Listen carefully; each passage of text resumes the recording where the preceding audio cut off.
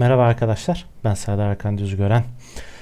Ee, yeni bir dersiyle beraberiz. Bu dersimizin konusu arkadaşlar birinci bölümde offset e, kontrolü incelemiştik. 3D Max Extension e, bir versiyonuyla gelen yeni bir özellikti. Şimdi ikinci bölüm ile gene e, offset controls ve preset e, kayıt işlemlerine bakacağız arkadaşlar.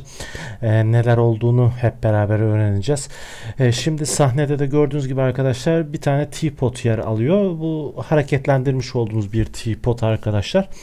E, konumuz şu. Şimdi bu animasyon işlemini yapmış olduğumuz tüm hareketlendirme, zıplama, dönme vesaire artık nasıl bir animasyon yaptıysanız bu hareket e, işlemlerinin kayıt altına alınıp e, sonrasında yine başka bir obje üzerinde de aynı hareketleri yapmak istediğiniz zaman hiç uğraşmadan nasıl uygulayabileceğinizi öğreneceğiz arkadaşlar.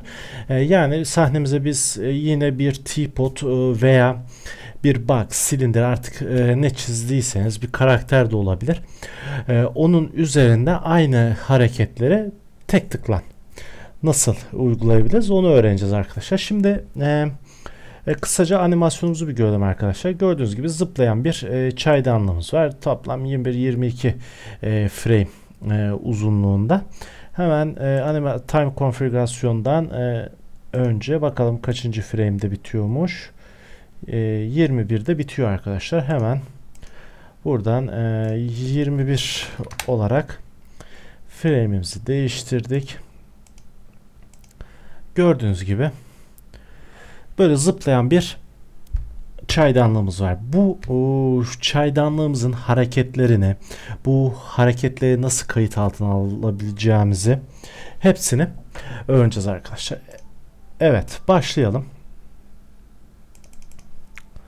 Şimdi arkadaşlar bunu buradan siliyoruz. Ee, buradan time, time konfigürasyonu tekrar 100 yapalım. OK diyelim. Hemen bir tane teapot e, oluşturuyoruz arkadaşlar sahnemize. Sonrasında 15. frame'e kadar gelip OTK diyoruz arkadaşlar. Böyle ileriye alıyoruz. Bırakıyoruz. Hemen bir test edelim. Evet. Çaydanlığımız hareket ediyor.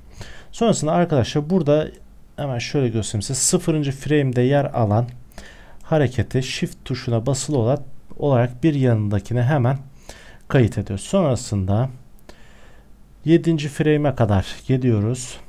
Yine otake ediyoruz. Çaydanlığımızı teapot'u yukarıya çekiyoruz. Arkadaşlar ve bırakıyoruz. Şimdi gördüğünüz gibi zıplayan bir çaydanlık var. Yerden yükseliyor sonra tekrar yere iniyor. Şimdi biraz daha e, esneklik e, vermek açısından modifier liste stretch e, değiştiricisini kullanacağız arkadaşlar. E, buradan hemen e, ikinci frame'de arkadaşlar bunun değerini e, eksi 0,2'ye kadar e, indirebilirsiniz. Otake ediyoruz ve 0,2'ye kadar getiriyoruz arkadaşlar. Sonra ilerletiyoruz. Ee, dördüncü frame'de arkadaşlar ya da biz bunu 5'e alalım. Hemen yükseltiyoruz.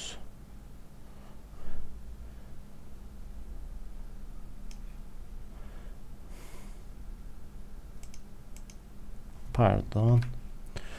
Hemen bu şekilde.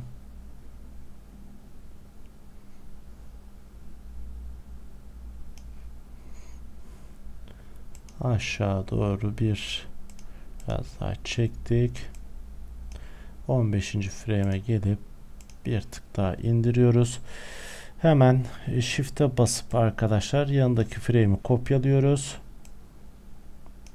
16. frame'de bu değeri 0 yapıyoruz o takeyi kapatıyoruz şimdi animasyonumuz birazcık daha ağır bir hareket etsin Sonrasında hemen play tuşuna basıyoruz. Gördüğünüz gibi arkadaşlar hop zıplama işlemini gerçekleştirdi. Şimdi biz bu animasyonu yaptık arkadaşlar. Nesnemizi hareketlendirdik. Siz bu hareketleri saklayabilirsiniz. İleride başka nesneler üzerinde uygulayabilirsiniz. Peki bunu nasıl yaparsınız arkadaşlar? Hemen main toolbar'dan animasyon, preset, create preset diyorsunuz arkadaşlar. Burada modifiers, transform hepsi seçili oluyor. Matrix, point, rotation, float, color kaldırıyorsunuz. Animated, transform, modifiers.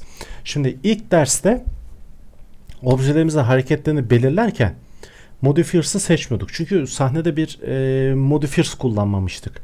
O yüzden seçmemizin bir gerek yoktu. Şimdi sahnemizde modifiers kullandık. Çünkü e, stretch e, değiştiricisini kullandık ve transform kullandık. Sonrasında bunları seçiyoruz arkadaşlar. Hepsine OK diyoruz. Preset Maker e, menüsü hemen açılıyor. Burada Effect kısmı var arkadaşlar. Burada istediğiniz herhangi bir e, isim verebilirsiniz. E, Teapot Animation diyoruz arkadaşlar. Ve hemen altında Save Preset diyoruz. Ve dosyamız kayıt edildi. Şimdi offset e, konfigürasyona geliyor arkadaşlar. Yine burada görmüş olduğunuz gibi start offset 0 send late 16. Çünkü sıfırdan başlıyor 16'da bitiyor. Hemen altında arkadaşlar auto French tip seçeneği var. E, onun altında da offset settings var arkadaşlar. Şimdi uygulama yapmadan önce bu teapot'umuzu arkadaşlar e, 4 tane kopyaladık. Okey. Şimdi animasyon diyelim arkadaşlar. Gördüğünüz gibi hepsi aynı şekilde hareket ediyor. Ama kopyalama işleminde pardon bir geri alalım. Instance e, olarak kopyalama işlemini yapalım ki Evet geri alıyoruz. Tekrar tıklıyoruz. Evet hop e, zıpladı. Şimdi arkadaşlar burada forward var. Mesela rezerve diyelim. Gördüğünüz gibi. Sonrasında hemen başa dönüyoruz. Ping pong seçelim. Sıçrama şekilleri bu şekilde. Şimdi mesela burada 10 değeri var. Bunu 3'e düşürelim. Tekrar ping pong diyelim. Tamam. Sonrasında from center. Sonrasında burada in constraint out seçelim arkadaşlar. Daire biçiminde yapsın. Play diyelim. Evet. Halka şeklinde şey yapıyor. Mesela burada constraint loop seçelim. Animasyonumuzu geri alalım. Evet. Buradan forward yapalım. Animasyon şekillerinizi değiştirebiliyorsunuz arkadaşlar. Liner seçelim. Buradan it, e, identify ile kayboluyor. Hemen